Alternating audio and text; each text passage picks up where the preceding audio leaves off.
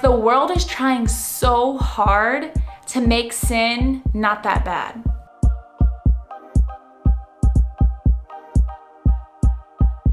Cardi B was on the cover of Cosmopolitan, and one of the big headlines was micro cheating. Are you doing it? Is he doing it? Why are these in my ear?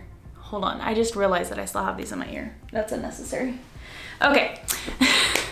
My literal first thought that came to my head is like, okay, I get what you're saying, like calling it micro cheating, because you're not full out committing physical adultery. Maybe you're not physically cheating on somebody or on your spouse. Maybe you're just flirting or maybe you're just texting this person a little bit too much and you're getting a bit emotionally attached, but like it's just micro cheating. It's not like full out cheating. And I thought about that and I was just like, well, when God looks at sin, does he say, oh, well, that's just micro sinning? No, like what does scripture say about what we would call micro cheating? This is what Jesus says, okay? You have heard it said, you shall not commit adultery, full out cheating. But I say to you that everyone who looks at a woman with lustful intent has already committed adultery with her in his heart. Okay, we'll just stop there. Our culture and cosmopolitan would say, well, you're just looking at hot dudes and it's just in your heart, it's just in your mind. Or you're just flirting a little bit with your eyes, but you're not full on doing it. It's just micro cheating. But God would say that if you sin against my holiness, you sin against my holiness. Yeah, there's different repercussions. So if I give a dude flirty eyes, I'm not gonna have the same repercussions, repercussions, repercussions as if I full on like sleep with somebody who's not my husband. Obviously, the physical repercussions for our sin are different, but God says that all sin is against him. And so while physically it might look like, oh, I'm just flirting with my eyes, I'm just micro cheating, I'm not like cheating, cheating.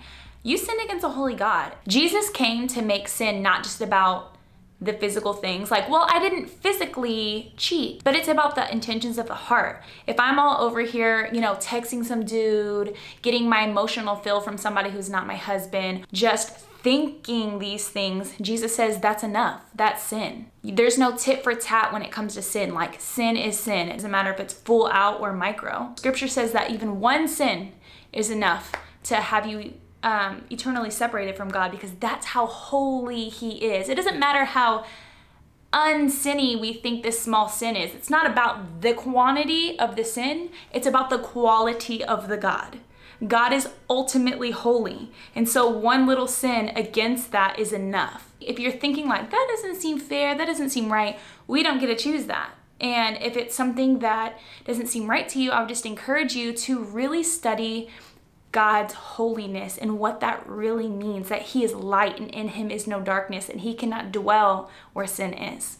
And so that's one thing I wanted to talk about, and especially these young people growing up and reading these things and seeing these things, like the world is trying so hard to make sin not that bad. But it's our job to be vigilant and to know God and to know His truth so that whenever somebody comes along and they mix in a little truth with a lie, we can tell the difference. So we're not just like, oh, well, yeah, that kind of makes sense. It's just micro sin. I mean, it's not like you didn't full on commit adultery on your husband, on your spouse, on your wife.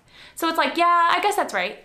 No, the world mixes in bits of truth with a lie so that our guard is down and so that we aren't walking in a way that's holy. And whenever we're not walking in holiness, our salvation is never broken. If you're genuinely saved, like that cannot be taken away from you. And that's a whole nother vlog on its own.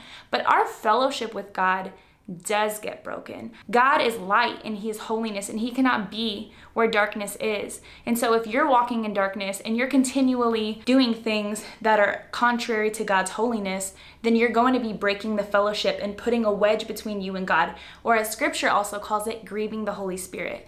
So I just wanted to come on here really quickly and encourage you guys, especially younger people,